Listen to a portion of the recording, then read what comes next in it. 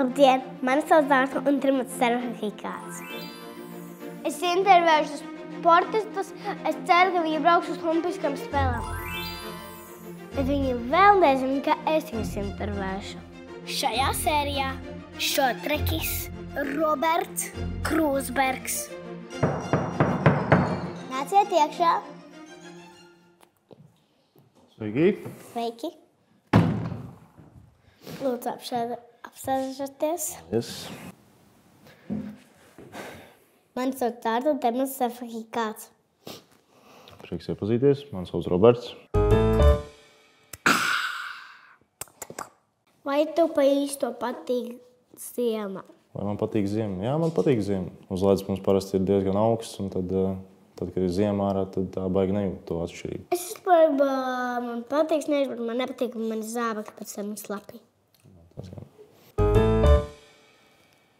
Kā tu tiec galā ar uztraukumu?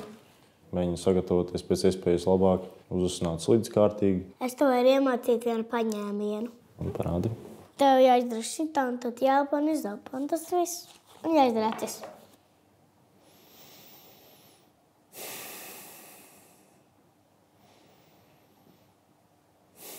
Ak, varam beigt. Kas tev patīk savā sporta veidā, kas tev nepatīk? Man patīk tas, ka tieši sacensībās man ir tas adrenalīns. Es ir tā apelīns.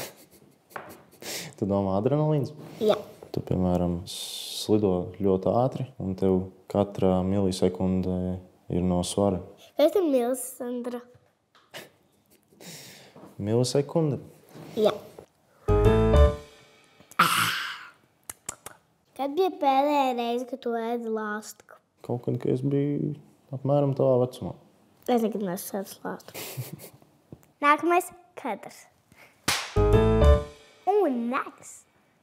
Vai tu dzer topingu, ka, lai tevi padarītu ātrāk? Viss vitamīns, ko es uh, lietoju, tas ir no Olimpiskās vienības, un visi vitamīni ir uh, pārbaudīti. Tā kā tur dopings nav klāts. Labi, ka tu nedari, jo es tev iedošu vienu zīmīti. Paldies! Tā arī turpini. Tu šodien padarīji labu darbu, tāpēc es pat tevi turēšu iekšā. Labi? Paldies! Arī iet. Paldies! Tā tā!